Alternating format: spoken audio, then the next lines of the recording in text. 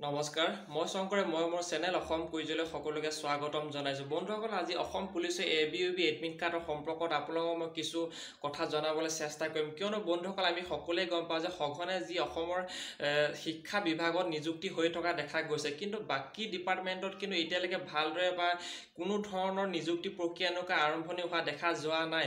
সঘনে আমি এটাই দেখি মানে এটাই দেখি যে শিক্ষা বিভাগত বা স্বাস্থ্য বিভাগত আমাৰ ডক্টৰ হিমন্ত বিশ্ব শৰ্মাৰ সময়ত নিযুক্তি দি আছে। কিন্তু বাকী ডিপাৰ্টমেণ্টৰ যি বিষয়া পাকসকল তেওঁলোক ক'ত গ'ল?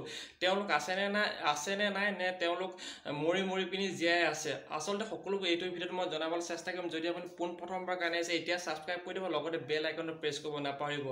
যেতিয়া মই এনেকুৱা এটা সুন্দৰ সুন্দৰ খবৰ দিবলৈ চেষ্টা কৰোঁ আপোনালোক সকলোতকৈ আগত পাব যাই কেনেকৈ আজিৰ ভিডিঅ' আমি আৰম্ভ কৰোঁ। চাওক যিহেতু আজি অতি দুখৰ কথা যিহেতু আমি সকলোৱে গম পাওঁ যে স্বাস্থ্য বিভাগত বা শিক্ষা বিভাগত আমাৰ ডক্টৰ হিমন্ত বিশ্ব শৰ্মাই সঘনে নিযুক্তি দেখা মানে নিযুক্তি দি আছে। আমি সকলোৱে গম পাওঁ যোৱাকালি তেওঁ আকৌ ঘোষণা কৰিলে যে প্ৰায় পঁয়ত্ৰিছ হাজাৰ পাঁচ ফেব্ৰুৱাৰী দিনাখন তেওঁ এপইণ্টমেণ্ট দিব নিযুক্তি দিব।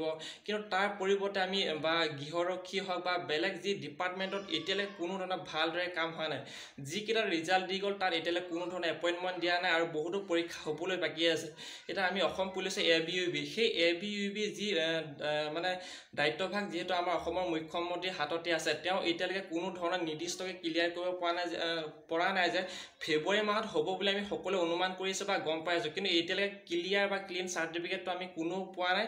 ফেব্ৰুৱাৰী মাহতে যে ফাইনেলকৈ হ'ব তেওঁ আমাৰ অসমৰ মুখ্যমন্ত্ৰী হিচাপে তেওঁ অন্ততঃ ক'ব পাৰিলেহেঁতেন যে অসমৰ যি নিবনুৱা অতি আজি তিনি বছৰে বাট চাই আছে ছহেজাৰ ছশ বাষষ্ঠিটা পষ্টৰ যি এপইণ্টমেণ্ট এপইণ্টমেণ্টটো মই বাদ দিছোঁ কেতিয়া ৰানিং হ'ব কেতিয়া ফিজিকেল হ'ব তেওঁ অন্ততঃ ক'ব পাৰিলেহেঁতেন যে ফেব্ৰুৱাৰী মাহত হ'ব বুলি।